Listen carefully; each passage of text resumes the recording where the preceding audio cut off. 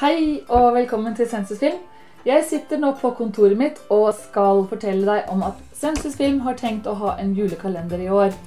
Der vi skal komme med hver eneste dag faktisk komme med en liten video hvor vi skal eh, spille inn eh, ulike tips og triks som du kan bruke i din videomarkedsføring.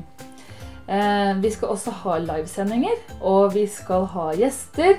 Og vi skal bruke ulike måter å ha livesendinger på, og jeg skal vise deg alt ifra hvilke plattformer du bør presentere videoene dine på, til enkle tips om manus og dreiebok, lyssetting og litt forskjellige sånne ting. Og det vi også skal snakke om er hva du kan bruke eksempel opptak av konferanser til.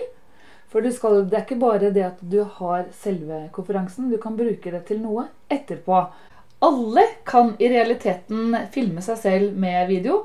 Men det er ikke alle som vet hvordan man gjør dette på en god måte.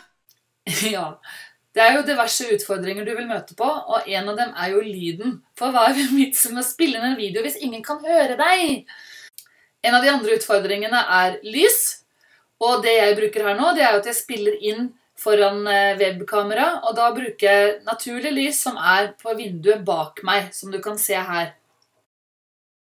Og som du kan se nå, så har eh, lyset i dette rommet forandret seg fra, i forhold til det sånn som det var først i videoen.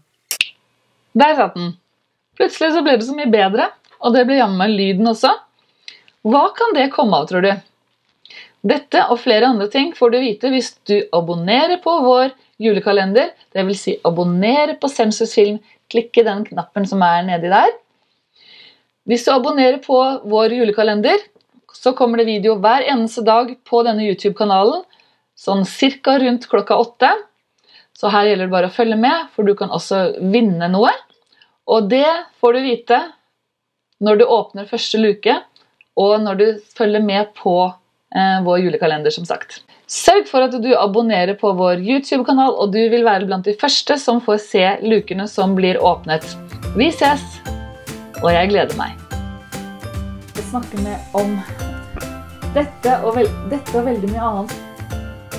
Nei, jeg er ikke noe god å knipse med det der. Og hva du f.eks. kan bruke